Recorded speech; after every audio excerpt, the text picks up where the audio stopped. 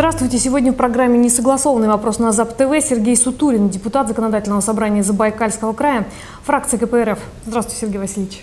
Добрый день, добрый вечер.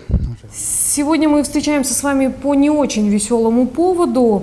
А, уже несколько дней пресса из Забайкалья, весь Забайкальский край обсуждает один и тот же вопрос. Правительство края намерено сдать в аренду китайским инвесторам 115 тысяч э, гектаров сельхозугодий. Но, ну, пожалуй, только КПРФ назвала такую политику края э, колонизации Забайкалья. Да, действительно, правительство Забайкальского края подписало с китайской компанией протокол намерений о передачи в аренду 115 тысяч гектаров залежных земель, ну и пастбищных угодий. Где это? Это в Нерчинско-Заводском районе, это даже вот в Улетовском районе, в Сретенском, Шилкинском районе и в Агинском Бурятском округе. Дело в том, что не совсем простой вопрос, может быть даже сложный, трудный вопрос – о сдаче в аренду такой огромной территории наших земель. Да, действительно, вы правы. Фракция КПРФ в Законодательном собрании Забайкальского края не приветствует и не поддерживает, даже категорически с протестом выступает. Фракция запросила у правительства Забайкальского края именно официально пакет документов с какой целью – ну, для того, чтобы провести экспертизу, чтобы оценить.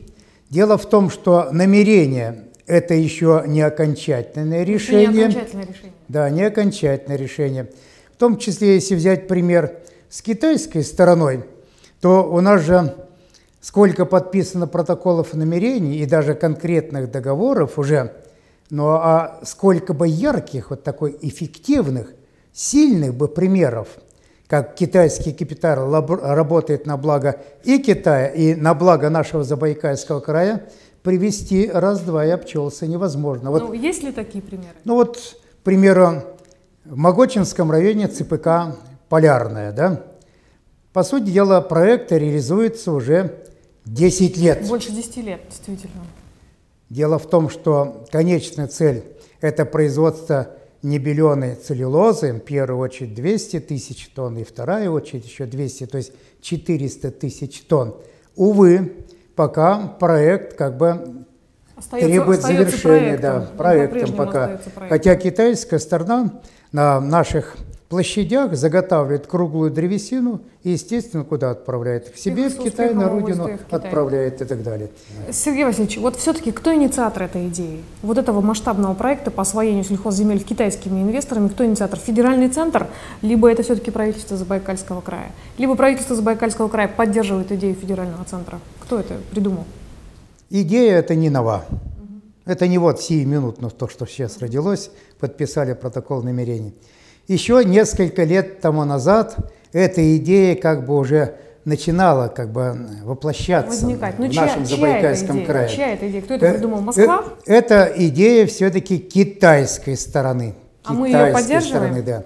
А правительство Забайкальского края, видя то, что у нас происходит на землях сельхозназначения, вот так, как бы реально приветствует и поддержит. Вот почему в конечном итоге срослась идея вот подписать именно вот такой протокол намерений и так далее. Какое ну, участие в этом принимает федеральный центр? Ну, федеральный центр, я думаю, что знает, что происходит на землях Забайкальского края, значит, вот так. Поэтому прямого вмешательства федерального центра нет, по нашей вот оценке.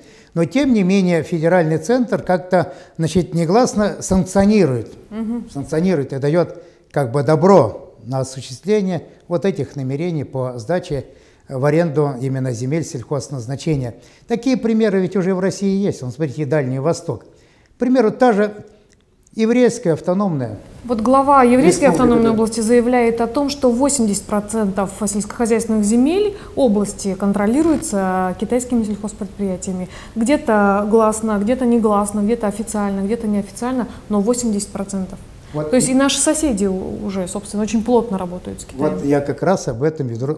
Почему пример такой? Действительно, китайские компании на землях еврейской автономной области настолько мощно внедрились Насколько до нас верно, не доходит информация или неверно, надо проверять, я могу, могу сегодня ошибиться, что даже там не просто аренда земли, а там якобы значительная часть площадей, в том числе земель сельхозназначения, в собственность китайским компаниям перешли и так далее. Не, а вот, не ждет ли нас такая судьба? Я думаю, что нельзя этого допускать, нельзя. Как а далеко? Собственность нельзя отторгать, нельзя, потому что границы нашей России должны быть неприкосновенны, собственность не должна бы, значит, в полной мере создаваться таковая, которая бы привела даже к колониальным процессам, которые могли бы возникнуть. Это недопустимо, это нельзя делать и так далее. Как а далеко вот... вы и Коммунистическая партия готовы зайти, чтобы не допустить такого развития событий? Мы готовы вот том, чтобы в собственность ни одной пяди земли не передавать, поднять широкие массы населения нашего Забайкальского края, выступить мощнейшим протестом – мы должны населению, особенно сельскому населению, э, донести, рассказать всю пагубность вот этих процессов, которые могут наступить. Хорошо, спасибо большое. Я думаю, что на этой ноте мы и закончим. Сегодня в программе «Несогласованный вопрос» был Сергей Сутурин, депутат Законодательного собрания Забайкальского края, фракция КПРФ. Спасибо. До свидания. Спасибо. До свидания.